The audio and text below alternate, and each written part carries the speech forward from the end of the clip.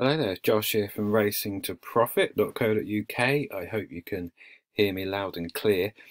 In this video, I thought I would take a look ahead to the Cheltenham Festival, which is obviously next week, with a specific look at day one, um, with the idea of highlighting a few form lines and possible horses to keep an eye on, depending on how some of the results go and possible impacts through the rest of the week, or um, if anything, saying something of interest for the racing which is taking place on day one also. This isn't necessarily, um, well, it isn't really a video of my thoughts on exactly what I'll be backing, uh, etc., because I'm uh, haven't got that far yet. Um, it may be worth waiting to see what the weather does, uh, depending on how much rain falls day one could be uh, fairly soft or just on the softer side of good, which I suspect is what it will be called officially anyway, like it seems to be most years. But they're, um, they're due a kind of dry week next week, so with any luck, uh, the ground dries out as the week goes on, and kind of it will be yeah perfect racing ground really. Um, thing to say in general uh, before I kind of flick through some of the market principles in the Supreme Novices Hurdle is obviously there are many reasons why horses suddenly bounce into life at Cheltenham. Uh, for some, it's the grand plan, of course, um, but this usually, uh, especially in terms of higher class racing, is the best ground many of these horses will have been on for a fair few weeks, and that's certainly the case with this winter, where it's been fairly soft and heavy on both sides of the Irish Sea. Uh, so we will see horses kind of uh, improving even more for some good in the ground. Um, and as always, they, there's some horses improve for the nature of festival racing, and by that I mean uh, bigger fields, stronger pace, and that both taps into the stamina of some horses, which they haven't been able to show. But of course, plenty of horses have been pottering around in small fields, tactical affairs where they crawl and then they sprint, or they never go quick enough, and some horses just simply fail to settle at some of this slower pace. When you mix that in with the fact that they may have been racing in soft and heavy, which could be ground, which is far from ideal for certain horses, you can see why um, festival conditions uh, can lead to a massive jolt in improvement. And of course, my job and others is to try and land on uh, the horses that may do just that at a decent price. Um, but for this kind of video, there's some kind of generalities in terms of the things I look for. I'll, I'll touch on a few other bits and pieces as well as I flick through day one. Um, but I thought it's worthwhile just kind of trying to home in uh, or get a feel for uh, some of the form lines and how they may develop through the festival and whether or not that can help us land on some winners or not. Uh, but that can be applicable to both the Cheltenham Festival and, um, you know, racing in weeks to come because not everything uh, necessarily that you might spot in this video is going to necessarily run at Cheltenham. Um, but yeah, do watch this with a notepad if you want. You may note down a few things. Uh, of course, we kick off with the Supreme Novices Hurdle. Um, you may have strong views on who you think's going to run well or not already, but of course, if let's uh, say appreciate it uh, does bolt up, um, I know some have concerns over uh, if this does dry out a bit, whether or not something something else may have a quicker turn of foot or more gears. Um, I assume they'll try and nullify that because he certainly looks like a, a staying 16 furlong horse. Uh, obviously, um, with form in the Cheltenham bumper, and maybe that's where I will start with. Um, we can see here, uh, I mean, there's a couple I just want to highlight for possible handicaps. I mean, generally with a champion bumper, it's not a bad position to start off with. Uh, that at some point the horses that ran in it are going to show more and more at a half decent level. And you could argue the two which have yet to fully, or arguably fully yet to reach their heights, um, both of these two have entries in handicaps this week. Third Time Lucki and Eskylane for Gordon Elliott will be under Denise Foster's name. I assume, I mean, that's another uh, complication into the mix in terms of how we treat those runners uh, and whether or not we just treat them the same and assume Gordon Elliott would have his usual half decent festival until we see evidence otherwise, especially in the handicaps, which he clearly targets every year. Um, but Third Time Lucki and Eskylane may be worth uh, a couple that may be worth just keeping an eye on, um, just because they have festival form and festival form that has clearly worked out okay given what the front two uh, have gone on to do uh, and especially appreciate it um, hasn't done much wrong this season is coming into this on a hat trick. Uh, was pretty impressive when seen at Leopardstown the kind of horses to focus on I suppose are or, or to assume that's what I want to do at this point in time let's assume appreciate it wins uh, and obviously that will mean different things for different form lines for races to come. Ballyadam looks likely to, uh, well, I'm not sure if he's, yeah, possibly running this. He's got a couple of entries uh, as well, I think. Um, and I'll touch on him on a moment. Uh, well, I can, obviously, he's moved to Gordon Elliott, and there's a, a question with, um, yeah, I mean, I'm not sure if Henry de Bromhead has said the Supreme is going to be the one. He's also in the Ballymore. Um, it looks like possibly the Supreme. Um, but clearly their form ties in together here. Um, you've got Hookup down here who looks likely to go in the mares. Um, and I think is possibly favourite. The mares hurdle kind of four, five to one.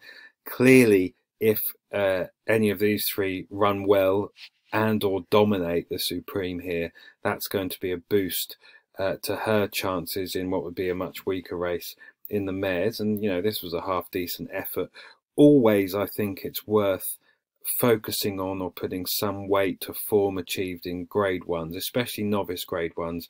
And if some horses have been able to stay up with the pace at all or have shown something until a certain point, especially those horses which are going to end up at a lesser level than the grade one of the festival, in particular in handicaps, uh, races like the Mares' Hurdle. I know I've seen the odd thing around with her jumping, hookups jumping seems to be a big question for some, especially in the context that she's kind of five, six to one, but that's maybe something to consider um, as that race rolls around. Uh, Irascible for Henry de Bromhead looks likely to run in the Supreme, and obviously you can take a closer look and try and work out, I suppose, why he would overturn the form with the front two here. Blue Lord is maybe the one of interest. I still don't know if, not necessarily for this race, um, although possibly for this race if he runs in it, but you will see that he's down in the county hurdle as well, kind of a best price 8 to 1, so they have options here.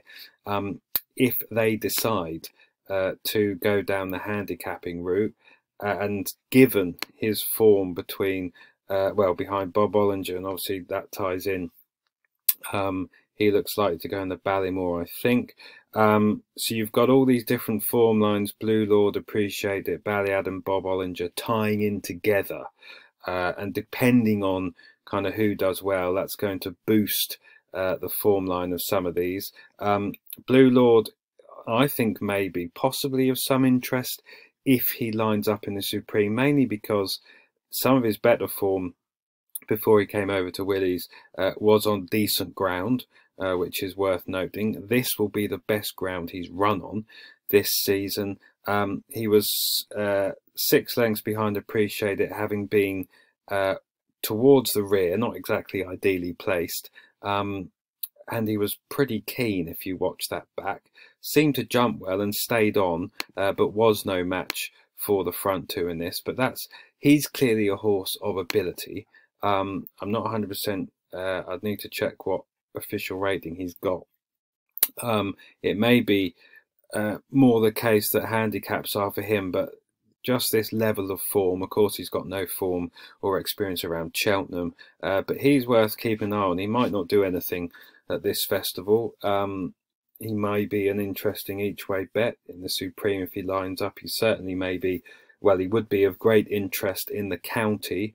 Uh, if that's where, if he's not declared for the Supreme, um, you know, appreciate it uh, and Ballyadam then fight out this race. that's going to be a big boost to his form. Um, that'll obviously, and if he runs well as well, uh, sorry, that if Bob Olinger then runs well in his race also. Uh, so you've got all these different things to keep an eye on as the week progresses and certainly from this first race. But Blue Lord may appreciate uh, a stronger pace, um, not being keen, uh, the better ground, uh, are all reasons why possibly he might get closer to appreciate it, or certainly if he's dropped into a handicap, this grade one form and ability to travel at pace and be in and around horses which are rated much higher or certainly would be if they perform in this race, uh, are clearly big positives as well. So that's something to keep an eye on. And a horse to keep an eye on, you would think he is going to win more races, just a question of uh, where and when. Um, so you've got those kind of form lines tying in. The Harry Fry horse, there's not much to shout about with him as yet. His races haven't worked out that well. Um, but of course, if he does put in a decent performance here, there may be a few other horses, not necessarily that are going to run this week, uh, that it might be worth keeping an eye on. I've touched on Ballyadam. Obviously, some of their form uh, or his form with Appreciate ties in in recent weeks. Uh, Bob Olinger looks likely uh, to go for the Ballymore and is well fancied, kind of five to two uh, favourite, I think, currently for that. Um, so clearly, backers of him in the Ballymore on the Wednesday uh, will want to see his form enhanced by I Appreciate It. Um, and uh, Blue Lord in particular, so I was going to say, this was the race I was going to focus on. I'm doing this without any notes. I've kind of whizzed through a few times in my head and trying to remember uh, what I wanted to touch on. But clearly, um, you know, they will want to see Blue Lord run well. Um, as an example, uh, certainly from their race last time out, um, you know, he he was behind Ferny Holly, Ferny Hollow, sorry, uh, in November. Ferny Hollow's form ties in with Appreciate It, obviously, from that bumper and form earlier in the season as well. So all of these different form lines crossing over. Um, again, this is a uh, the Lawlor's of Naas, a grade one. Bob Olinger, very impressive. Blue Lord, this was the race, sorry, this was the one where he was, um, uh, yeah, this couple of starts ago, he was keen again.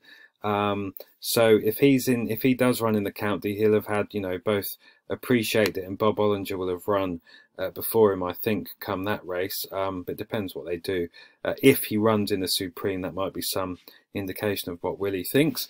Um, who knows? But you know, there's again, you can see what I'm getting at in terms of depending on what horses run well in this Supreme. Maybe worth noting, this is a horse I wanted to touch on, uh, having watched some of the videos back. Um, Gavin Cromwell's Gavin Naco, I'm not quite sure how you pronounce his name, but he's of interest. Uh, again, will be fascinating to see how these two horses in front of them, him in the Lawlor's, get on. Um, and what is he entered in? Uh, he's entered in the Coral Cup. He seems to be shorter, a shorter price, if these prices are correct. Um, in the Martin Pipe, both of them uh, two mile four on the new course, a stiffer test of stamina. Wednesday, the Coral two mile five on the old course, uh, a bit more emphasis on speed, um, being able to hold a position. Um, but he's of some interest given he has that kind of profile which I've talked about. Um, he doesn't have Cheltenham form, uh, which is obviously always a positive. I should say, in terms of festival form being a positive, obviously there's the track element and that ability to travel and hold a position at pace, which is crucial in any festival race, both the, the grade ones and the handicaps. Being able to hold a position and jump at pace and being a strong traveller is a positive, but also being able to switch off as well. Um, the lack of a big crowd, there's going to be some horses I suspect that in previous years would have boiled over because of the crowd and the circumstances and the noise and just the general atmosphere and the cheering. And, you know, that won't be an excuse for some horses this year. And, uh, you know, more horses may give their running, especially the younger, inexperienced horses. So that, having not experienced Cheltenham form in that sense or a festival in that sense, um, is going to be a bit different from previous years and maybe less weight put on that. But of course, festival form in terms of uh, is always a positive, even without that kind of crowd, uh, an atmosphere point. Um, but what I would say about Gavin William, uh, Gavin Cromwell's horse here is he has form in big fields. So whenever you're looking through, especially in some of the handicap hurdles, forming kind of big maiden hurdles, especially in Ireland, normally gives an indication that you can jump, uh, jump and travel at pace. It obviously indicates as well that you do not mind the hustle and bustle of a big field. And what you can sometimes see is horses that have gone well or run well in big main hurdles and uh, you can see his form ties him. that Elliott horse I just touched on as well um, from this Punchestown race in particular. Um, but you can, yes, horses that have form there, and then they run in smaller fields, which may not suit as much. Again, Naas, he run, he won a kind of big field fairly impress impressively there. Maiden hurdle, that again, just an example of that ability to handle the hustle and bustle of a big field. Um, you know, to run your race, to switch off, to settle, which some might need the strong pace of a big field, and then you can run in you both run in smaller field races, which may not suit some races because the tempos can be completely different. And some of these are kind of grade one and grade two novice affairs, which are clearly decent races anyway. Um, but he ran a, a solid third. Uh, behind these two very good half decent horses in the Lawlor's of Naas. That indicates some ability. Um, and that from the mark he's got, he may be well handicapped. He dropped to two miles here which didn't seem to suit. But you can watch that race back, and he clattered the second hurdle.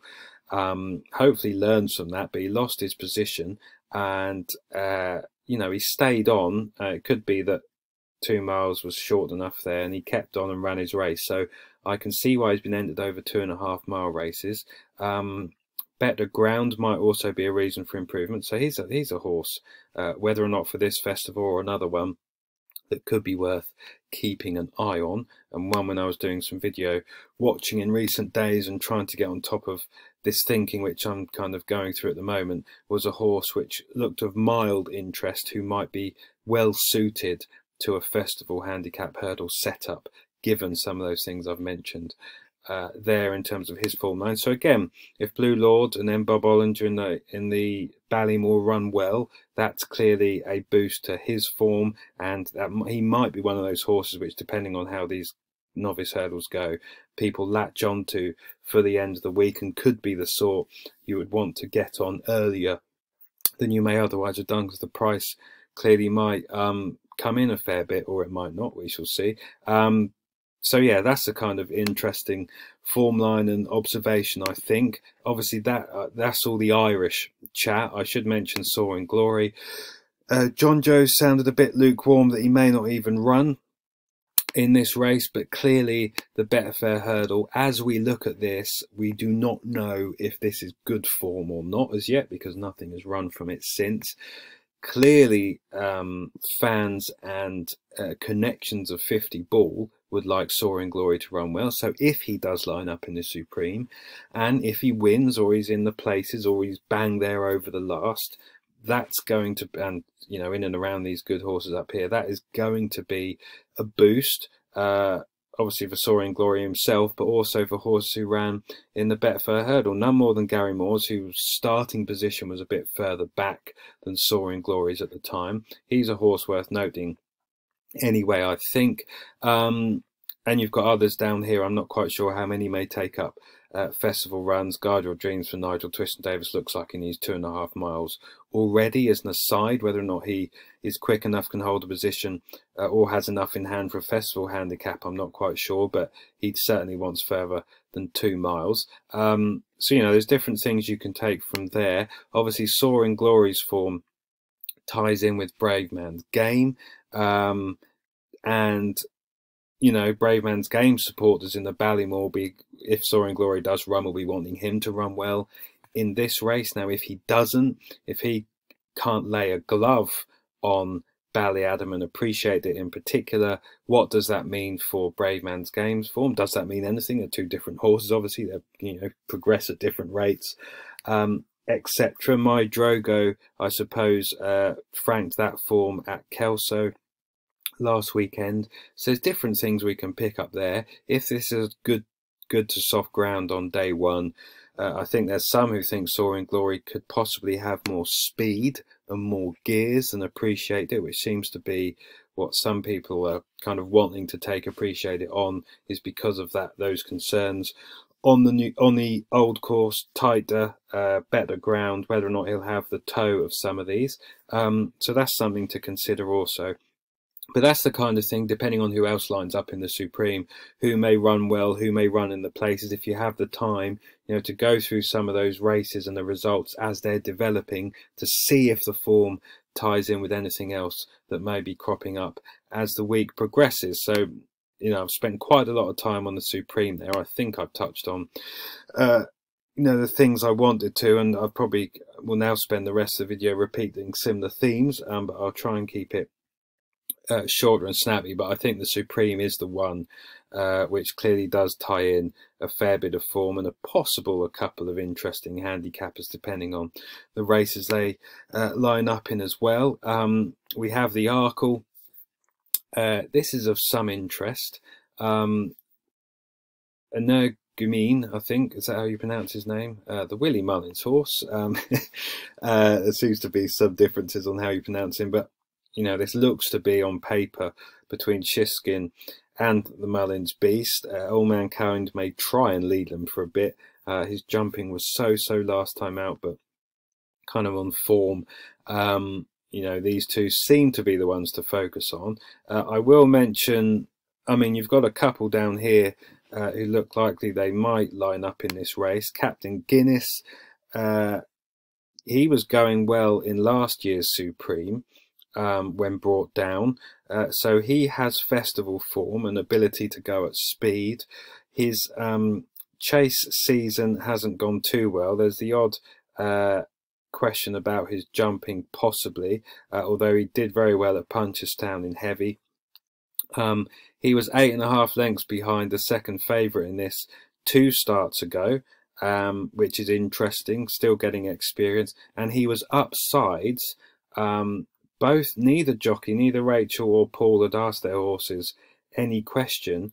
Um, one length seconds three out, press leader when fell two out. Now it was still a fair way from home at Leopardstown uh, as they turned for home. Um, but it seemed a bit of a novice error, but he was going to be upsides uh, Willie Mullins' horse, and who knows what would have happened there. Um, I would have thought he would have been the one chasing him home in second. Then you're kind of looking at price disparities and you can maybe make your own judgment. Coming into a, a festival chase on the back of a fall, of course, is never ideal. Um, but you know, is is there each way juice there, or does that make him more interesting, uh, given the form uh, was going to tie in here? And you know, some of you may be big Shishkin fans and think it doesn't matter what either of those two do because Shishkin's just in a different parish. Of course, now we have, uh, you know, the Tizzards of Eldorado Allen they'll be hoping Shishkin runs well. He obviously put him firmly in his place, but you know, 149 going into this, 162 going into this. Um, so, you know, a clear disparity, uh, disparity on ability. But, you know, the Allen fans will be wanting Shishkin to run his way, race, and that would be a boost for his form. And he's got an entry in uh, the stable plate up to two and a half, which is trip he's never tried. Also, the Grand Annual, he's got course form as well. Are the Tizzards coming into life, or is he going to be one for Aintree? But again, you know, this is a horse which has shown grade two or grade one, in this case, grade two form, but behind what looks like or is a proper grade one novice um, form. And when one of those rocks up in handicaps, uh, whose form is behind horses such as Shishkin, they're always worth a second glance, whether that's at Cheltenham or Aintree or another handicap down the line. Um, so that's something possibly uh, to note down there. Um, Franco de Port, his form ties in with the Willie Mullins second favourite in this. Uh, was he in a uh, no, yeah, he made a bad mistake also uh, at the third. That kind of knocked the stuffing out of him a bit and dropped him back. Would he have been in there pitching with Captain Guinness, chasing him home in this race? Would he have been closer than 10 lengths? Would he and Captain Guinness have been within two or three lengths of the Willie Mullins horse? Would they have had to really work harder? Um, you know, they're all different questions, and you know, this is a different race, a different pace setup, different ground, different track. Are they reasons why some of these form lines could be turned on their head? Is the price disparity correct, etc.? So you know, there's different things to think of there. He was pulled up at Cheltenham. Um, yeah, far too keen it seems that day. Uh, but again, uh, some ability. Um, he might be better on better ground. You know, all these different things to consider. Uh, horses that run at Leopardstown and Leopardstown form is always worth uh, plenty of weight because horses that run there do produce plenty of subsequent winners on their next start that ran at Leopardstown on their on their last start before run, rocking up at the festival. Um, so yeah, that, that's kind of all I want to say on this particular race. I think I'm, job isn't to steer you. I don't think I've steered myself any particular way, um, but there may be a couple of interesting outsiders to uh, deliberate given their form tying in with the second favourite, or of course these two are just going to be battling it out over the last, which may well be the case, and we shall see which horse comes out on top. Um, so that's the Arkle. Um, what do I want to say about uh, the Ultima um, as that loads? Uh, I mean, there's a few interesting horses in here, maybe. Um, there's some form lines of mild interest. Um, yeah, this sorts itself out by where the market is at the moment. Um, I suppose I did just want to touch on Aye Right. Obviously, there's horses in here which are not going to be running. I don't think Remastered is. I don't think, obviously, Cloth Cap isn't. Um, but uh, I suppose I will just focus on Aye Right's form lines um, because looking through, uh, there's a case to be made as I've started to do so, um, and you might sense where I may be leaning, we shall see, um, that his form lines today, especially out of the British challengers, Aye Right one for the team, Lieutenant Rocco Happy Go Lucky, in terms of those above him in the market at the moment, and there's still plenty of you know de final declarations aren't out yet of course. Um, but you know that form behind cloth cap and chasing him home at newbury in the hennessy or what was the hennessy the ladbroke now that's clearly been boosted by cloth cap who's now officially rated in the 160s um, you know, so he was chasing home a horse there who had at least 20 pounds in hand, it would appear, 25 pounds in hand. Uh, jumper's bumper there. Then the Doncaster race. And there's a form line here I just want to touch on. You know, Takingrisks, a grand old servant, Scottish national winner, uh, rehearsal chase winner, decent horse even for his age. Aye Right, uh, the jockey dropped his whip three out. Um, he stayed on there as if he would like further than 24 furlongs and, you know, would 25 furlongs with a horse that can hold his position, who's a very good jumper, who has very good form this season. The old course favouring your favouring a bit of speed, that ability to hold a position near the front or just off the pace. You certainly don't want to be too far back, in my view. Um, or if you are, you need them to go pretty hard up front. Um, and that 25 furlongs with that climb to the line, uh, is that going to suit him? Possibly. Uh, this race is half decent. The front three were miles clear here. I want to touch on Captain Nord. Um, I'm not sure uh, what's he entered in. Oh, yeah. Um, I don't think he's running. No, he's not going to run at the festival. Um, but he his form turns in with Royal Pagaille, who is the current favourite for the National Hunt Chase. Um, you know, so there are some form lines that cross over there. Obviously, that ties in with Aye Right in the Sky Bet. Um, he didn't run too bad, uh, too well at Kempton on good. Did that? Yeah, jump left. Maybe on that ground at the pace they went, uh, he was taken off his feet a bit. Um, I, you know, I can't say. Yeah, maybe he needs to go back left-handed. Although he did run well at Kempton in softer ground in December, he still looks like 142 is workable in some sort of race. But in any case, he's run quite a few hard races before that. But it is that Royal Pagaille form lines I just want to touch on. So that's something to keep an eye on as well as the week progresses. Um, so yeah, I think for the Ultima chase at this stage, I'm still kind of deliberating, uh, and I haven't been anywhere near through. And we'll see with these handicaps. I kind of like to wait for 48 decks, I suppose, because you don't know who's definitely going to run up. I like I said at the start, I still don't know definitely what the ground is going to be, um, and who turns up. Obviously affects pace, affects race setup, and various different things. Um, I won't touch on the others as such, although there's some. Uh, okay form lines to a point that have been franked, but we'll move on because I'm ticking around to half an hour, which is probably uh, long enough, isn't it? What do I want to say about the champion hurdle? Um, not too much as such. Like I said, you can you know, you can pick up these races if Honeysuckle bolts up. Um, you know, are there any other horse we want to take forward? Uh, again, there's a question. Some think about whether 16 furlongs around here on if it is good, good to soft, whether or not she's going to have the gears. Could she get outpaced? I believe um, Barry Geraghty was quite strong on her being his lay um, when he was asked for one on there on the fence preview, which is half decent watch. Um, and yes, there's different things you can you can pick up on. Epatante, is she going to return to a form of her demolition job in this race last year?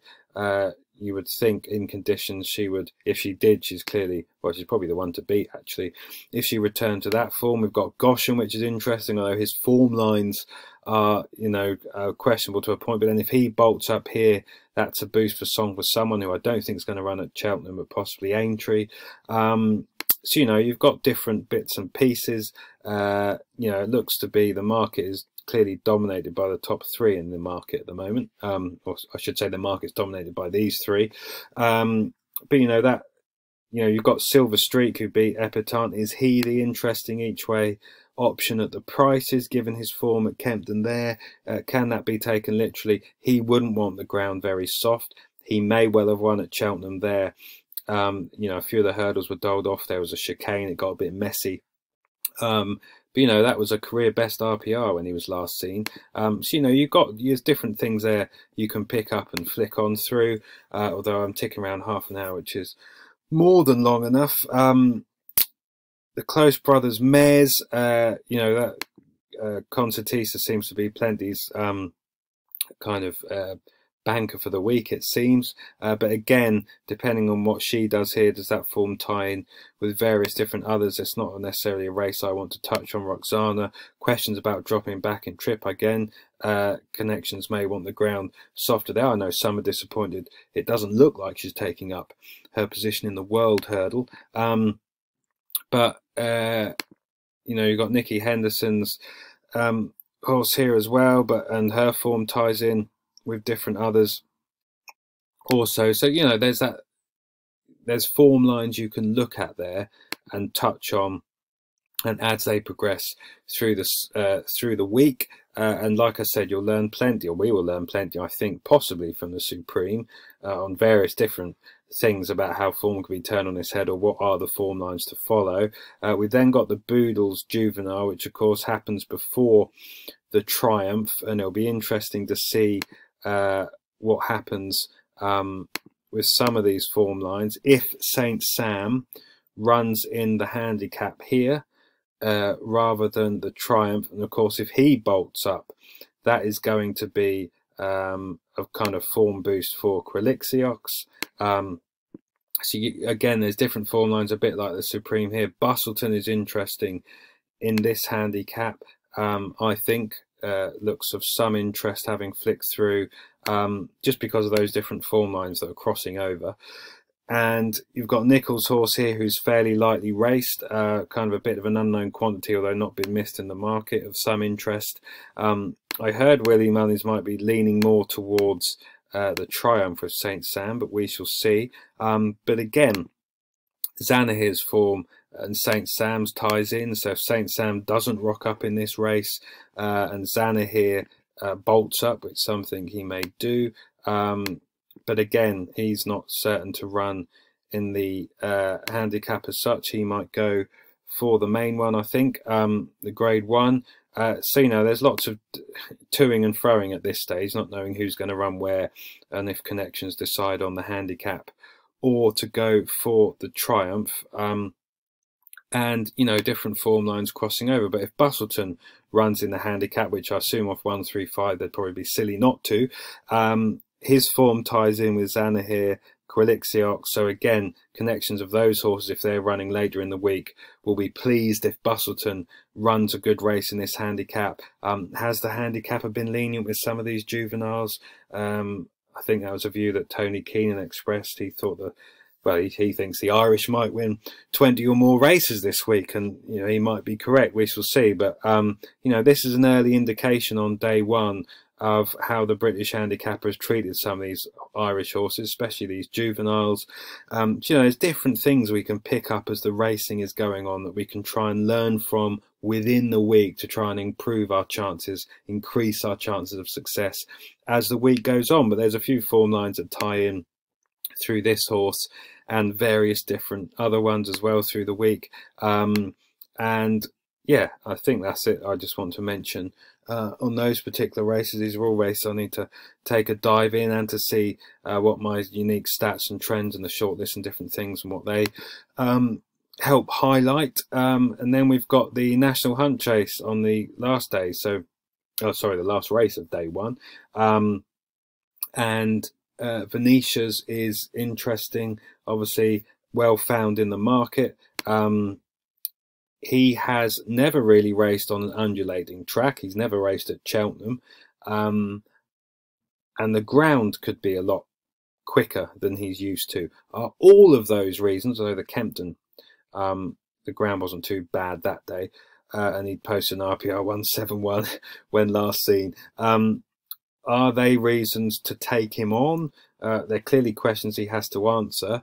Uh, the track, namely. Um, and possibly quicker ground uh, and possibly going a pace he hasn't gone before, but that's of interest. Galvin's of interest. Um, uh, Barry Geraghty, he mentioned that he wondered if he was more a speed horse and whether this extra six furlongs may be of interest. Again, he has festival form. Um, you know, so there's there's different form lines here if he runs well. Um, so yeah, it's always worth looking at those horses that run well and perform well um, as the day and these races progress and see if any of the other horses uh, tie in, although I'm sounding like a broken record and I'm aware I'm repeating myself now. I will just touch on Longhouse Poet more as an example, a bit like a horse I touched on before. Um, let's just ignore he's a chaser and him in this race for a moment. If he was running in handicap hurdles, this would be the type of profile I may be trying to home in on and take positives for. So he's clearly a good horse, actually point to point, yielding, hacked up. Um, good ground. He beat Monkfish in a bumper. I find that interesting. Um, but if this was a handicap hurdle, like I said on a horse earlier in the video, um, you've got big field, maiden hurdle, novice hurdle form, and actually some of this form has worked out okay. You've then got from that big field experience and a reason why, having run in this season, for example, smaller fields, you may suddenly burst back into even more life or look better handicapped, especially if you're talking about handicappers in a big field, strongly run festival race. Um, you've then got graded form, grade one form behind a proper horse in Envoy Allen, um, Elixir D'Ainay, good horse. Um, and so you've got form there. Uh, which highlights that you have ability and you have ability to go at grade one pace and to run well in a grade one. Um, that's over hurdles, and then you might this season some you will there will be handicap hurdlers with similar profiles. This who are still staying in hurdles and running in maybe their first or second or third handicap hurdle, having not won one yet, but having similar form or ideas to what I've just talked about there, uh, and some indication with RPRs above their current mark, for example, uh, and all those things tying in together to uh, and to yeah give positives or a positive reason for why they may do something in a festival handicap, especially handicap hurdles. Um, but switching back to this horse, he's obviously not running in the handicap hurdle. He's running in the handicap. Uh, so he's going to run in the National Hunt Chase, I think. Um, you know, he's run well over shorter distances, has shown some speed, some ability, and now he, you know, 25 furlongs heavy at Punchestown dour staying performance. He beat Run Wild Fred there, who has since come second in the Thyestes chase behind Cocoa Beach. The front two fairly well clear from a couple of half decent ones of the Willie Mullins yard. Um, so you've got, you know, having flicked through a couple of days ago and watched some videos and different things, he was of mild interest for many of the reasons stated, uh, given his form and ability, um, and festival form or festival experience. Maybe this run came on the back of a fair few hard efforts, I don't know. I am intrigued that he seemed to have decent form on decent ground. Um, is it that he, and he could be again, this is maybe the final thing I say as I tick around to 40 minutes, is he one of these horses that's run well on heavy? And you'll get horses that have run well on heavy and horses that haven't, who runs even better on decent ground. Um, I'm not quite sure if he needs a bog or whether or not that's been the reason for improvement. That's something to ponder. Um, but uh, he at the prices, and you, when you're looking through races like this, as I talk at this stage, trainers yard are in form. He doesn't run many at Cheltenham. He's a potential interest, and you know might be a horse to look at. Uh, you've then got next destination if he runs well. Uh, he's got one for the team. Um, who looks likely to run in the Ultima. His form now, next destination fans will want one for the team to run well in the Ultima, I think, to give that form a boost.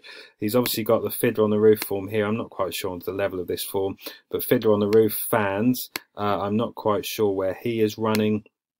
Um, he's got an entry. Oh, he's probably not got much chance in that. Um, famous last words, but you know he's on an okay mark. Is he one for a handicap at Aintree maybe? But his fans or supporters, or uh, you know, might be worth noting uh, how well next next destination goes in this for his form at a future date. Um, so they're all the different things. That idea of hot form and how these form lines build up. Uh, I'm not quite sure. Uh, you know that that's an interesting and useful exercise and thing to know. I'm not quite sure where pencil Pencilfoot have led is going to run, but he has form ties in with Cocoa Beach late this exhibition. Uh, some other runners and races here. Um, Escaria Ten might run in the handicap and the Alta, but also, uh, so you know, you've got various different form lines that build up. Uh, but having ticked round to 40 minutes, um, I hope the time has flown by, um, but I hope also that I've said something that is of mild interest or may help you uh, attack next week if you like finding your own winners. There's hopefully something to take away there whether or not it's some thinking about the types of profile to look at whether or not it's the types of for, well specific form lines that I've mentioned or highlighted or things you can look at. But I find that kind of interesting. Um, I might not play in the Supreme financially although of course as always various bookmakers do money back offers on race one. I think Sky Bet probably lead the way on that. Um, but uh, you know, there's various different things. Uh, you know, I will find the the Supreme Novices Hurdle interesting, even if I don't end up playing in it. Although you may have, um, you know, heard me talk about certain horses, which might interest me at prices depending on where they line up. Um, but you know, by by engaging in this type of thinking and some of the things I've discussed, it makes these sorts of races fascinating for the rest of the festival and the rest of festival season, if you're talking Aintree and Punchestown, um, to see how some of these races and form lines work out. And I find that kind of thing uh, fascinating um, which is probably why I like the sport um, because it is complex in that way and there's so many different things to think about. Um, but like I said, day one, the ground, the pace, the track, uh, you know, some form on day one and through the week will get turned on its head from recent weeks because of the conditions, because of the unique conditions, big fields, the pace, the better ground. Um, horses being able to settle off stronger paces where they haven't done so far this season in small field, heavy ground races, etc.